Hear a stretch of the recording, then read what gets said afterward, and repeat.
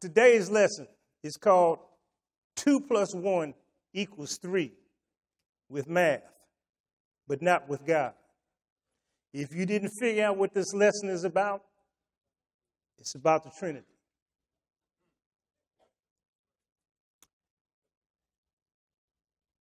The Trinity is one of the things that's been highly mistaught in the Bible. They teach that there's three in the Godhead. And that teaching is totally against the Bible. You can almost read the start of any epistle, and it will tell you. We're going to read one of them. But we're going to go through a few things. You all pretty much know about the Trinity. But there might be a few things that you didn't look at this particular way. So I'm Brother Stephen up here, and I'm giving you my angle. Anytime a brother gets up here and deals with the Word of God, it's like setting a subject on a round table and asking all the brothers, What do you see? We all see the same thing, but we see it somewhat differently.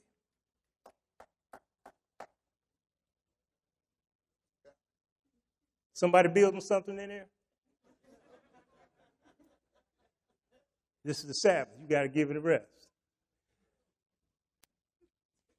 But today we're going to look at, at this thing and we're going to see the deception. And we're going to show show you clearly that there can be no Trinity in the Bible.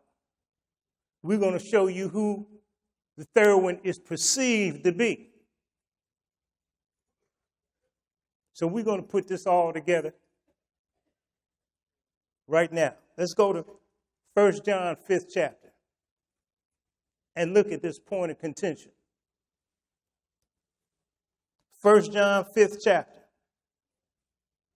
And this is where one of the places where they get the doctrine of the Trinity from. And I do agree, you do see three here. But I don't see three gods here.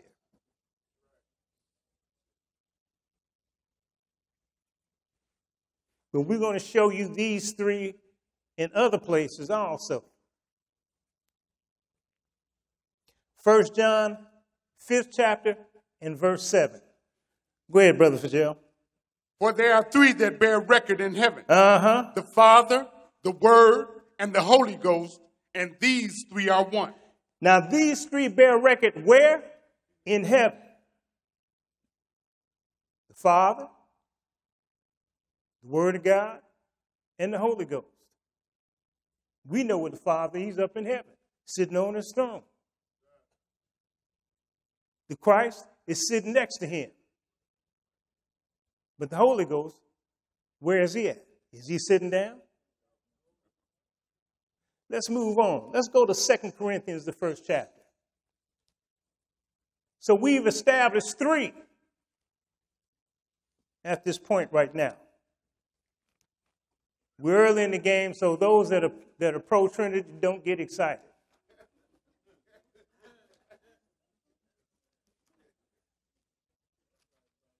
We're going we gonna deal with this. And let's break it down and look at it. Second Corinthians, first chapter. Second Corinthians, first chapter, and let's pick it up at verse 2. Second Corinthians, first chapter, and verse 2. Go ahead, Fitzgerald. Grace be to you and peace from God our Father and from the Lord Jesus Christ. Go ahead. Blessed be God, even the Father of our Lord Jesus Christ. So we know that God is the Father, right? But it said, grace and peace from God our Father and from Jesus Christ and from the Holy Ghost. You mean the Holy Ghost ain't got no grace and peace? He ain't got nothing to say about this? Why is he left out the equation all of a sudden? Because he doesn't have any grace and peace to give to you of his own accord. But read on. Read that three again. Blessed be God, even the Father of our Lord Jesus Christ, Uh huh. the Father of mercies and the God of all comfort. So we also know the Holy Ghost as the comforter, right? But he can't give you no comfort until it comes from the Father, who is the God of all com- comfort. It starts with him. But let's move on. Let's go to 2 Peter, the first chapter. 2 Peter, the first chapter. Because we got to collect all these things and put them on the table.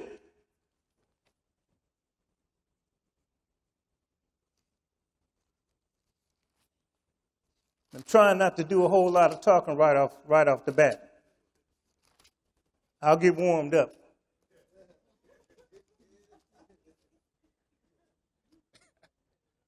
Just to give you folks a little hope. They like to hear me talk. Brenda. Second Peter, first chapter. And let's pick it up at verse 1. Second Peter 1 and 1. Go ahead. Simon Peter, a servant and an apostle of Jesus Christ, to them that have obtained like precious faith with us. Lots like faith. We all are on the same page. We all are right here with this faith, believing. We all should be. But we all need to read the book. So let's obtain this like faith. Go ahead. Through the righteousness of God and our Savior Jesus Christ. How many of you see? Two. Go ahead. Grace and peace be multiplied unto you through the knowledge of God and of Jesus our Lord. Why is the Holy Ghost being left out of this grace and peace continuously? How come our Christian brothers and sisters don't see this?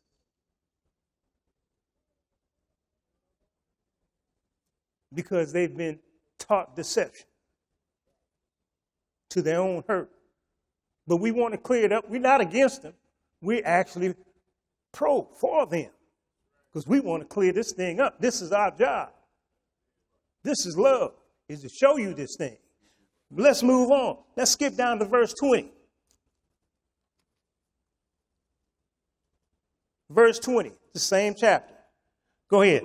Knowing this first, that no prophecy of the scripture is of any private interpretation. This is not my opinion. We all read this, that it was two, right? And we all going to continue to read this. So this is not a private uh, interpretation. We're going to read this. Go ahead, 21. For the prophecy came not in old time by the will of man, Uh huh. but holy men of God spake as they were moved by the Holy Ghost. So they did not do this on their own accord. And I, and I will also tell you in the New Testament, it was the same thing. They didn't do this on their own accord. They were moved to do this. But let's move on. We got to go look way back and let's look at some things. Let's go to Revelation, the 12th chapter. Revelation, the 12th chapter.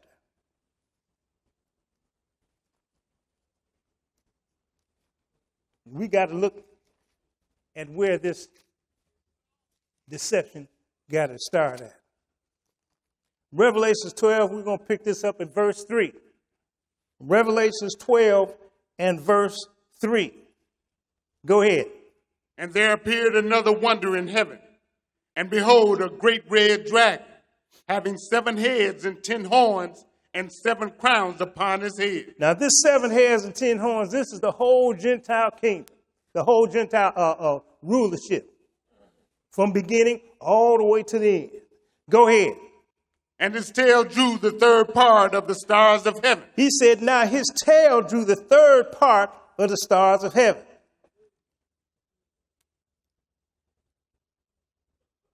Can I have figure two put up there for me?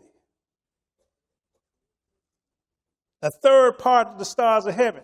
Now the book tells you there is an innumerable number of angels. We need to understand this, okay? And I just want to throw you some figures up here just for points of reference. Light, the speed of light is 1,000, is, uh, I'm sorry, 186,282 miles per second. It travels 6 trillion miles in a year. Now, the known universe is 13.7 billion light years big. Now, these are two numbers. These are two big numbers. But if we multiply those two big numbers, it's 13.7 billion times 6 trillion. This is the number that we get. Can y'all tell me what that number is?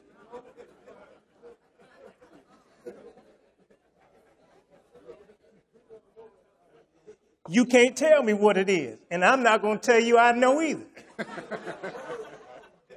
but there are numbers that are way larger than this, go into the hundreds of numbers, but they are known numbers. The Lord said there is an innumerable number of angels. Hmm. I just want to put this up here as a point of reference so that you can see this. And a third of that Satan took off. Keep that number in mind. Skip down to verse number, huh? Finish that, yeah. Matter of fact, just skip down to verse 7 because it says his third, his tail drew a third part of the stars of heaven. And you can put T A L E also because it was a lie. He took a third part of the angels with him also with that lie. Skip down to verse 7. Go ahead. And there was war in heaven. Michael and his angels fought against the dragon, and the dragon fought in his angels. Uh huh. Skip down to verse 9. We got to find out why is Satan fighting against Michael and his angels. All these group of angels fighting. Why? Go ahead. And the great dragon was cast out, that old serpent called the devil and Satan, which deceiveth the whole world. He was cast out into the earth and his angels were cast out with him. Now I said, with this war, Michael and his angels, they won. Michael and the two thirds of the angels, they cast out Satan and the third, and they cast him down to the earth. But it said that these devils deceive the whole earth. Every single one of you all have been deceived at some point in your life. All of us have been deceived at some point in our lives. And without reading this book, you will continually be deceived. But let's go to Isaiah, the 14th chapter. We need to find out more about this. Isaiah 14. Isaiah 14. And we're going to pick this up at verse 12. Isaiah 14 and verse 12. We got to find out why was he kicked out? Was he doing good deeds in heaven? What? Inquiring minds want to know. Verse 12. Go ahead, Jim. How art thou fallen from heaven, O Lucifer? How are you cast down from heaven, O Lucifer? This is what, his, what Satan's name used to be. He used to be the messenger of God. He used to be the Holy Ghost. Go ahead. Son of the morning, how art thou cut down to the ground, which didst weaken the nation? And we just got confirmation because it said the whole world has been deceived. Those are the nations. Go ahead. For thou hast said in thine heart, I will ascend into heaven. Wait a minute. You said in your heart, I will ascend to heaven. I'm going back up there. Go ahead. I will exalt my throne above the stars of God. Uh huh. I will sit also upon the mount of the congregation in the sides of the north. Go ahead. I will ascend above the heights of the clouds. I will be like the Most High. He said, I will be like the Most High. This is where he got in trouble at because he wanted to be like God. But let's move on. Let's go to Ezekiel, the uh, 28th chapter. Now, if we look at Jude, Jude 6 chapter, it tells you that the angels which kept not their first estate they, uh, uh, they left their habitation. And they are reserved in everlasting chains of darkness. Because when Satan lied to Adam and Eve, the Lord took his power away to appear. He can't appear, nor uh, him nor any of the devils. They can't appear. So they are kept in chains of darkness. So he can't be seen. But he can't influence people. This is the deception. So he has to do things through people. First verse Ezekiel 28 and verse 1. Ezekiel 28 and verse 1. And we're going to look at the prince of Tyrus. Go ahead. The word of the Lord came again unto me, saying, Son of man, say unto the prince of Tyrus, Thus saith the Lord God, because thine heart is lifted up, Uh-huh. and thou hast said, I am a God, I sit in the seat of God in the midst of the seas. Yet thou art a man and not God, though thou set thine heart as the heart of God. Doesn't it sound familiar? He said, You a man. But because Satan has been kept under chains of darkness, he can't appear and do it himself. He has to work through people, he has to do things vicariously. He has to experience things through other people. This Prince of Tyrus has set his, set his heart, or set his mind as the heart of God. There's a man on the earth that thinks he's God. The organization makes him to be God. Uh, be God. It's Pop over there. One of his titles is Vicarius Filii Dei, which is Vicar of Christ, which is the replacement for Christ on earth.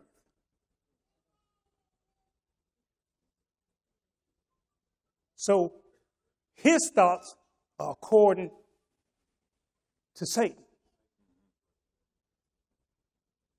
Because Satan can't.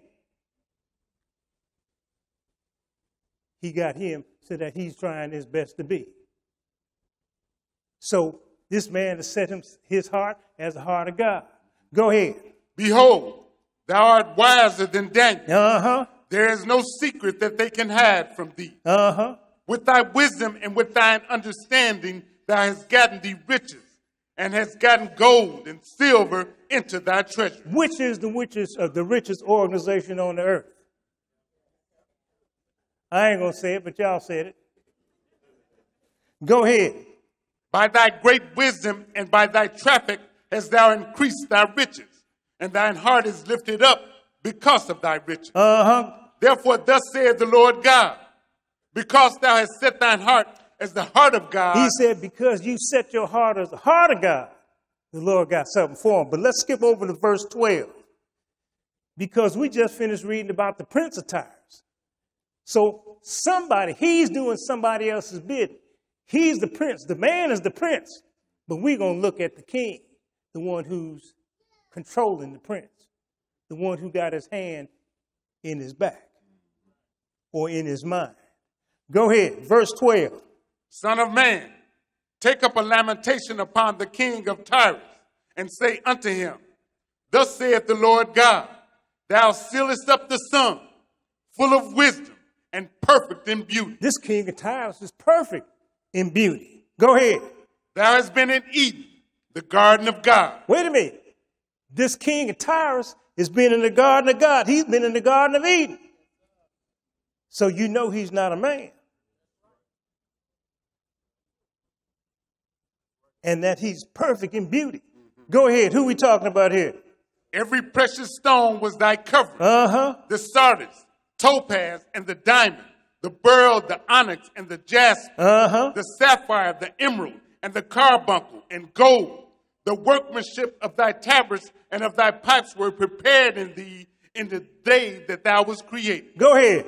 Thou art the anointed cherub You, that covereth. you are the anointed cherub that covereth. What is a cherub? It is an angel. He is the anointed cherub that covered God. He was right next to him.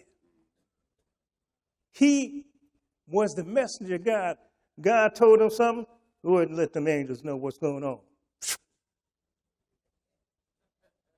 He go wherever in heaven to tell them. But let's see what he did. Go ahead. And I have set thee so. Thou was upon the holy mountain of God. Thou hast walked up and down in the midst of the stones of fire. You know about all the good stuff. Go ahead. Thou was perfect in thy ways from the day that thou was created, Uh huh. till iniquity was found in thee. You were straight till iniquity was found in you. What happened? Go ahead. By the multitude of thy merchandise, they have filled the midst of thee with violence. You got a little bit too big headed, mister. You started merchandise. You started advertising you. You started advertising God.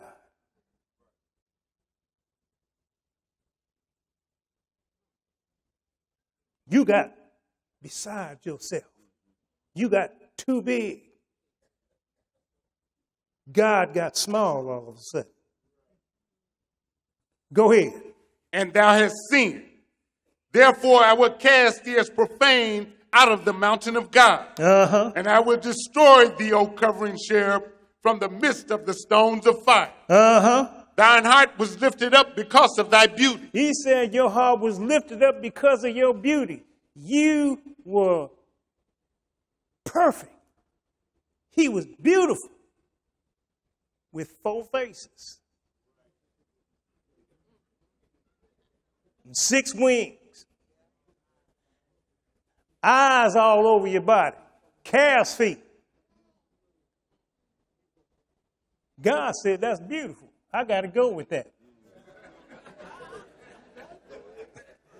with my spiritual eye. but my physical eye, I can't see it. And, and y'all couldn't either. Matter of fact, if we saw it, we'd be running. That's right. That's what uh, uh, Job 41 said. If you saw this cat, you die. But we see the Lord cast him out. And he said he's going to lay him, cast him to the ground. Did you finish that? No, middle of 17. Go ahead.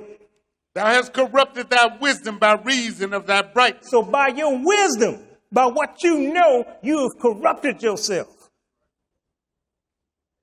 Just like being a false prophet. Go ahead. I will cast thee to the ground. I will lay thee before kings that they may behold thee. This is where he's going to end up. They're going to be looking at him. But let's move on. Let's go to Psalms, the eighth chapter. Because we need to find a point. Why is this cat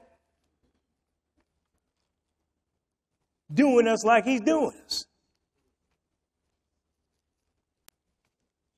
He's cast down to the ground, and every chance, he's trying to destroy us. Psalms 8th chapter. Psalms 8, and let's pick it up at verse 1. Psalms 8 and verse 1. Psalms 8 and verse 1.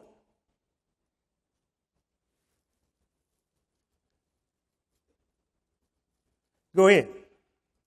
O Lord, our Lord, how excellent is thy name in all the earth, who has set thy glory above the heaven. Uh huh. Out of the mouth of babes and sucklings hast thou ordained strength. He said, Out of the mouth of babes and sucklings hast thou ordained strength. Go ahead.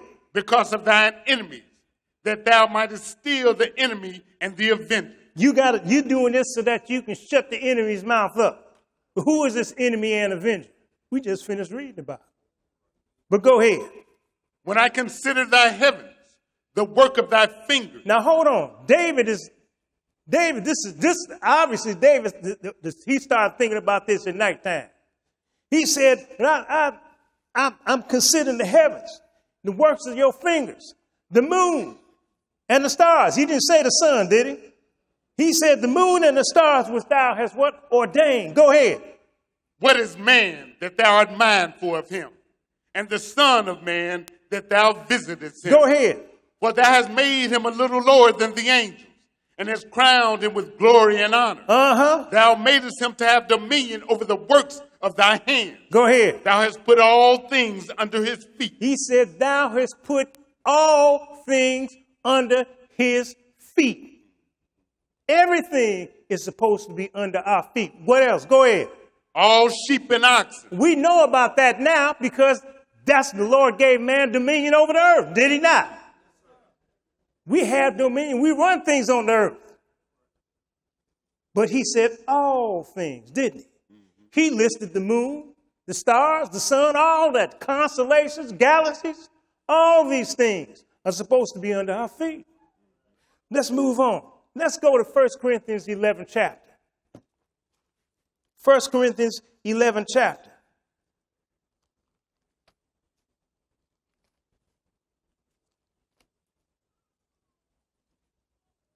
And let's take a look at this. Maybe you might see what I see. Now, I don't want you to, uh, uh, to forget what we're dealing with. We're dealing with the Trinity and the Holy Ghost. The argument is one of the arguments that we deal with that the Holy Ghost is God. That's what they say.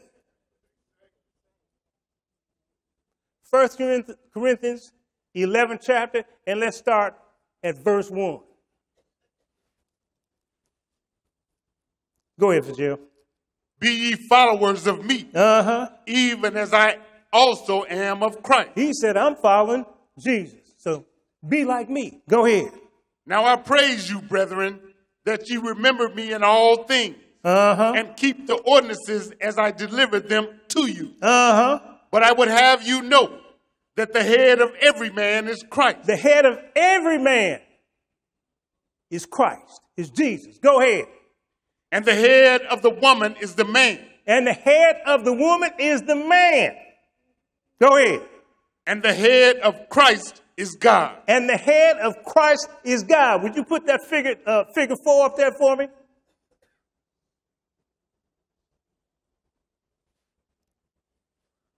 Figure number four. Look at that. At the top of the ladder is the Father. Below him is Jesus. Below him is man. Below him is the woman. Now, I may be wrong, but there's two obvious things that's missing here. Two obvious things that's missing here. I don't see angels, and I don't see the Holy Ghost. Do you see the Holy Ghost in here?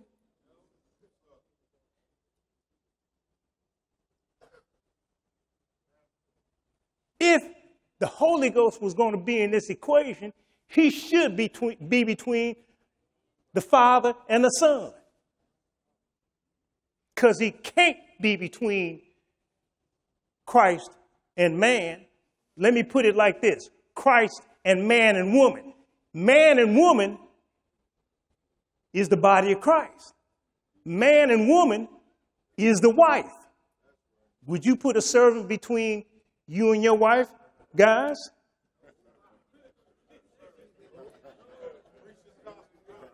Would you put a servant to be over your wife? Would you? No, you would not. God made man to be over all the works of his hands. He's over all angels. So can I have that? Uh, I lost my place. Can I have figure number? Is that what it is? No, I want figure number. Hmm, lost my place again. Figure number.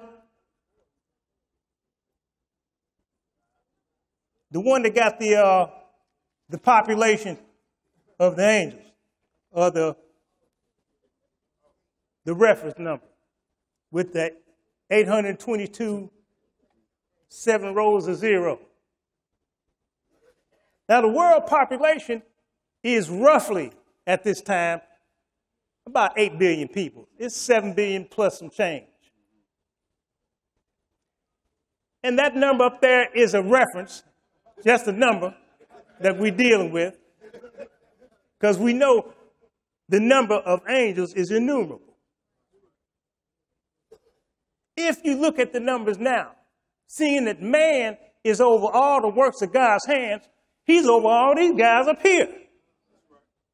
All of them. How many of us? About 8 billion? Over them? To me, I see a point of contention. I can't see it here in the book. But the book tell you Satan is a murderer. And he's been like that. He's been trying to kill us from day one. And I'm going to leave it at that. Let's go to Hebrews, the second chapter.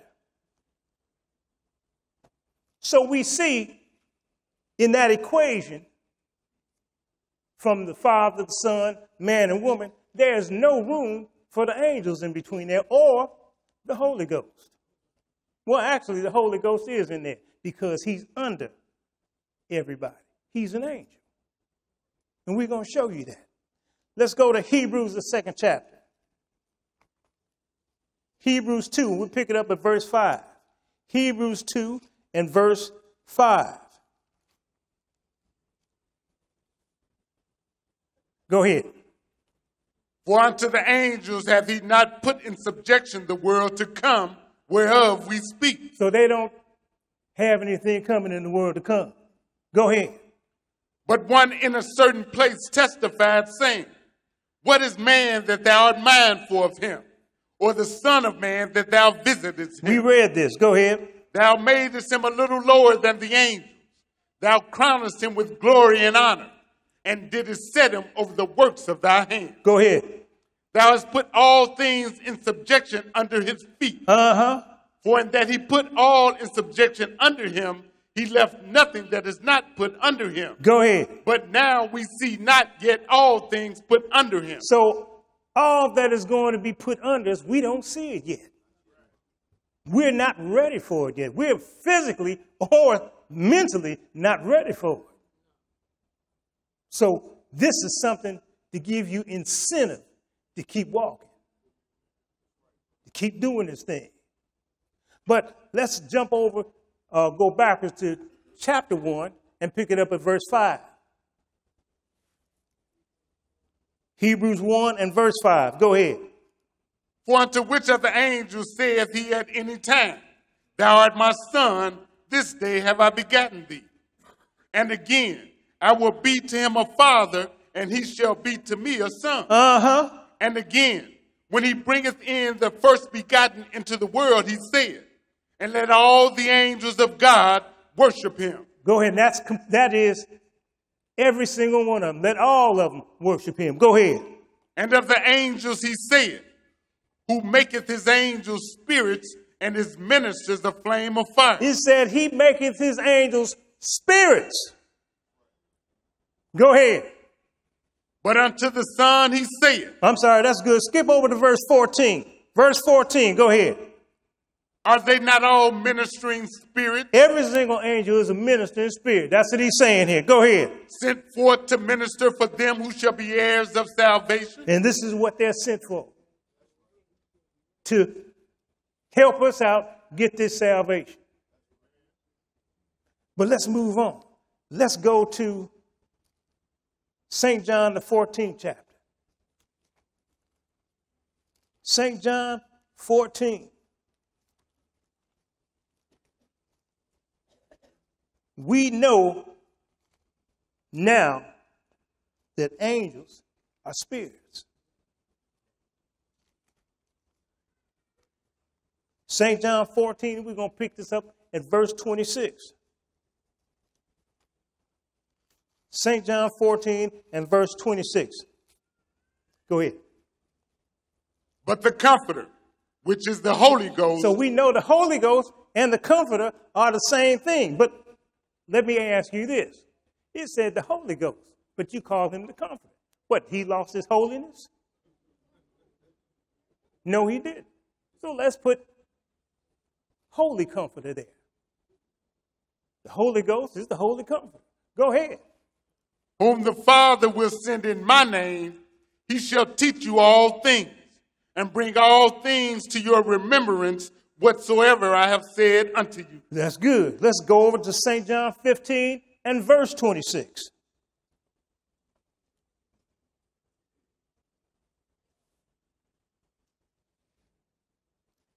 We're talking about the same guy. If he's holy this, he's holy that. Verse 26, go ahead. But when the Comforter is Which come, is the Holy Comforter, go ahead. Whom I will send unto you from the Father, even the Spirit of truth, Now, this is the same guy. Is he holy, being the spirit of truth too? Yes, he is. Because he's bringing you the word. He's holy. Go ahead. which proceeded from the Father, he shall testify of me. He's going to testify of me. So you got this same man, you, he got, or this same being, he got three titles the Holy Ghost, the Holy Comforter, and he's the Holy Spirit of truth. We can remove that of truth and make him just the Holy Spirit.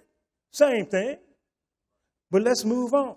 Let's go to the next chapter, St. John 16. And this is talking about him again. St. John 16 and verse 13. 16 and 13. Go ahead. Howbeit, when he, the Spirit of truth, is come, he will guide you into all truth. Uh huh. For he shall not speak of himself, but whatsoever he shall hear, that shall he speak. And Uh-huh. he will show you things to come. So he's going to tell you what he has heard. He's not going to freelance. He's not going to sell himself like his predecessor did. He's going to tell you only what he heard. Go ahead. He shall glorify me, Uh huh. for he shall receive of mine He's going to receive of mine. Go ahead. and shall show it unto you. Go ahead. All things that the Father has are mine. All things that the Father has is mine. Go ahead. Therefore said I, that he shall take of mine and shall show it unto you. And he's going to take a mine and show it unto you. How many do you see here? No, you don't. You see three. All things that the Father has is mine. And he, talking about the Spirit of truth, is going to take of mine. You just saw it in 1 John 5th chapter. Think about it. But let's move on. We're going to show it to you someplace else. But let's move on. We finished that 15. Yeah. Let's go to Exodus, the 23rd chapter, because we're going to follow him down. That's a little tedious. It may take you a little time today. You know, this is the Sabbath day. Y'all ain't supposed to be doing nothing. Y'all got, you know, y'all got about 20 minutes today. Some of y'all be wanting to run out of here like you want to go run and play the lottery or something.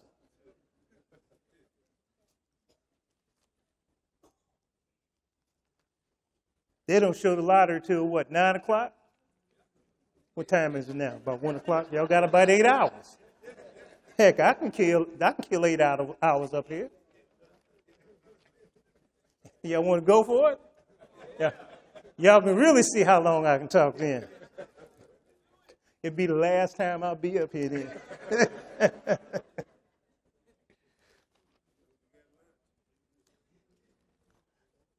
Exodus 23.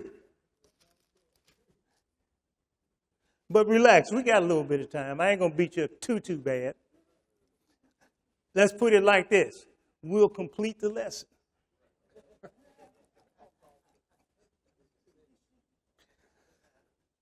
So here we're taking a look at, at, at, uh, at Israel when they were in the wilderness.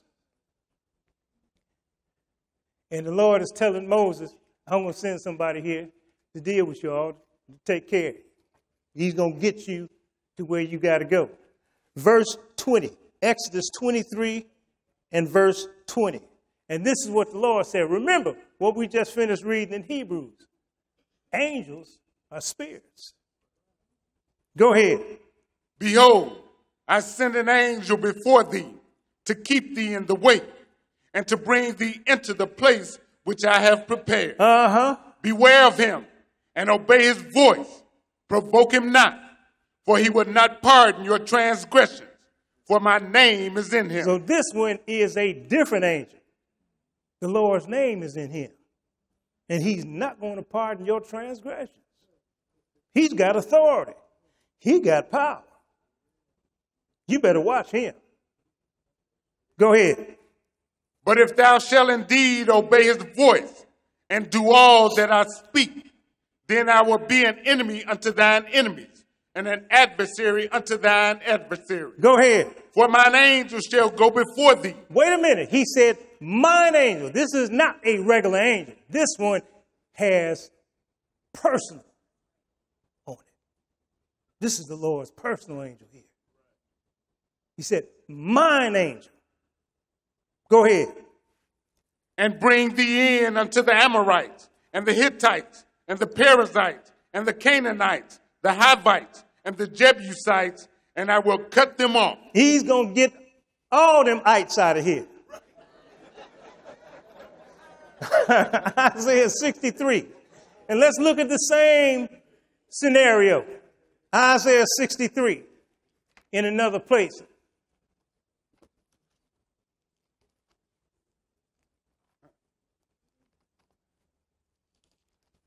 Them ites were kind of rough. No matter, and no matter where they were at, they had to be gotten rid of.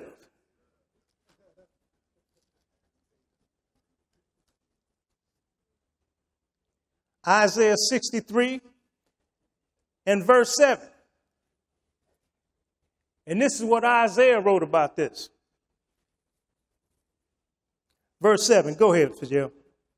I will mention the loving kindnesses of the Lord and the praises of the Lord, Uh-huh. according to all that the Lord had bestowed on us, and the great goodness toward the house of Israel, which he has bestowed on them according to his mercy, and Uh-huh. according to the multitude of his loving kindnesses. Skip down to verse 9. Verse 9. Go ahead. In all their affliction he was afflicted, So he suffered with them too. When they were sorrowful, he was sorry. Because he was among them. Go ahead. and the angel of his presence Now we saved know them. we know that an angel is a spirit. And it just told you that this angel that was with him, it was the Lord's angel, because it said mine. Now I just told you it was the angel of his presence. This angel had his name, but he represented the Lord. If you saw him, it was just like the Lord was there. The angel of his presence. Go ahead. In his love and in his pity, he redeemed them, and he bare them and carried them all the days of old. Go ahead. But they rebelled and vexed his Holy Spirit. They rebelled and they vexed his Holy Spirit. But we know a spirit is an angel. This is not somebody else that just came in. It is the same being, just called him different names. As it did, they called the Holy Ghost, they called him the Comforter, they called him the Spirit of Truth, they called him just the angel. Then it was mine angel, or how we said, his angel. Just different names. Same being, just doing what he's supposed to do. Let's move on. Let's go to Luke, the first chapter.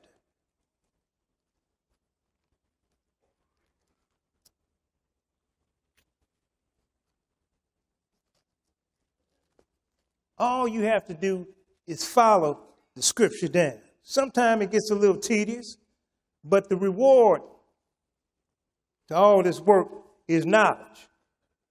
Now, y'all want to want to run out of out of here early, considering that I said that. Y'all don't want to get no knowledge. Go ahead and run.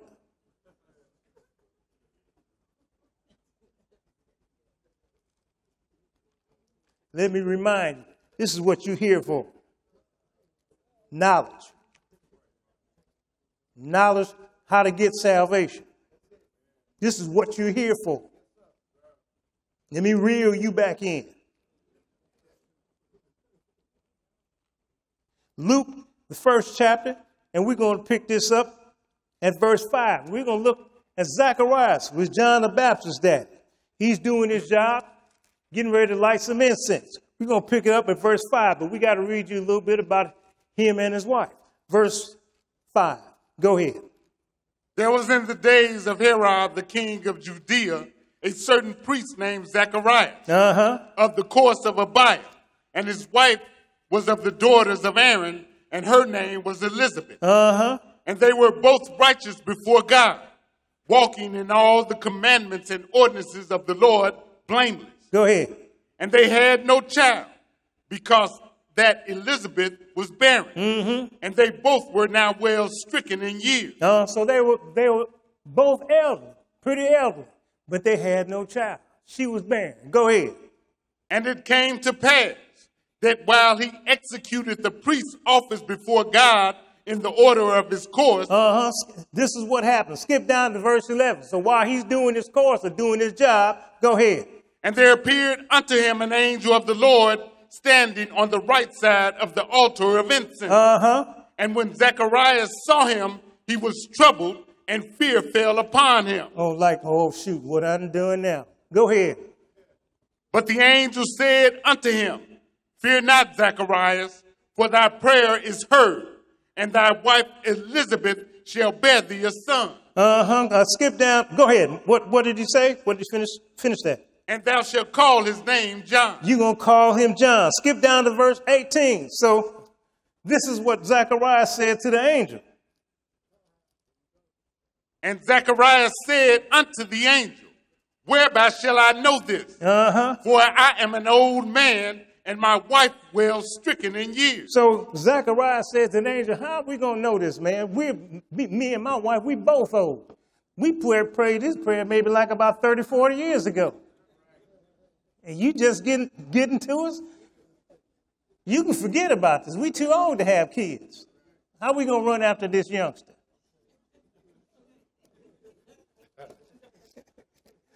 That's a good one. I, I don't want to know the, the answer to that question. But he said, We both old. But what did the angel say? Go ahead. And the angel answering said unto him, Uh huh. I am Gabriel that stand in the presence of God. He said, I'm Gabriel that stand in the presence of God. You doubting me? I stand in the presence of God. This is, he didn't say one of the angels that stand. He said, I am Gabriel that stand in the presence of God. He's the same one that we saw in Isaiah 63. He's the same one that was back there in Exodus, the 23rd chapter. You, you forget these angels are very old, but they don't get tired. They don't age. They don't get hungry. Their strength doesn't diminish if they don't eat. And they don't die. He said, I stand in the presence of God. I also call this angel a Holy Spirit. The Holy Spirit. I'm sorry. But this is the same thing that we just saw in St. John 14 and 26, 15 and 26, 16 and 13 through 15. We just saw him. His name was just different, but he does the same thing. And did you hear him talk about himself? No. He didn't tell you all that he was other than just here. He told you what he was. He is able to stand in the presence of God just to verify the information that he gave. Thank you for tuning in to today's lesson. If you are in the Chicagoland area, we welcome you to join our church community every Saturday at 12 noon Central. We are located in Riverdale, Illinois at 520 West 138th Street. Our ministry is made possible by your donations. To make a donation or to view all of our locations across the world, please visit our website at www.theisraelofgod.com.